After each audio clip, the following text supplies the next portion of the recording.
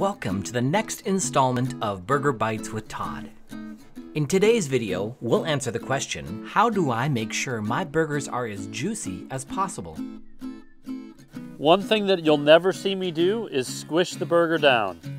That is the cardinal sin of making grass-fed burgers. The last thing that I want to do is to squeeze out the juiciness, the moisture, and the fat, the beneficial fat, that's in grass-fed beef.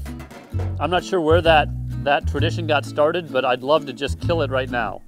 Don't ever, ever do that to this incredible, uh, incredible grass-fed beef that you've bought. Don't move it around on the grill. Flip it over once and leave it alone. Every time you touch it, you lose the moisture, some of the moisture and some of the fat.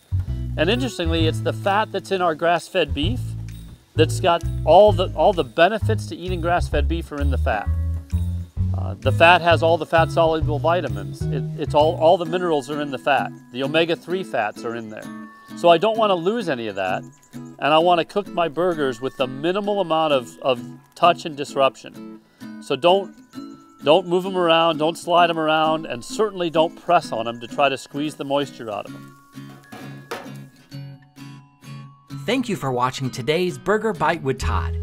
If you have additional questions, feel free to reach out to us through our website at bluenestbeef.com, on our Facebook page, or by simply leaving a comment below. Please be sure to like this video and subscribe to hear more Burger Bites with Todd.